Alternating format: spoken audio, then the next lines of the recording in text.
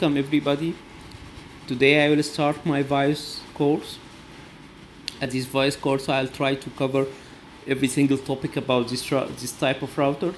I'll show you how's uh, interfaces, protocols, VPNs and all of this stuff supported by this router. Also at, at this course I will try to include some uh, other vendor routers like this one to show you how is configuration difference and how is things done here and here. Any IoT I will also try to demonstrate here. I will use this new sample topology for the first interfaces uh, showing you what's what's about interfaces configuration and different interfaces configuration sub interfaces link bonding and all of this stuff I'll show you here.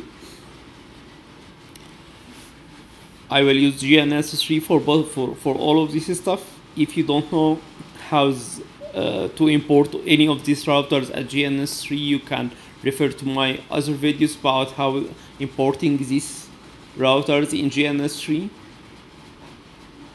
Okay, let's let's stop now and let's start with with our point-point interfaces at our next video. Thank you for viewing and hope it will be informative for you.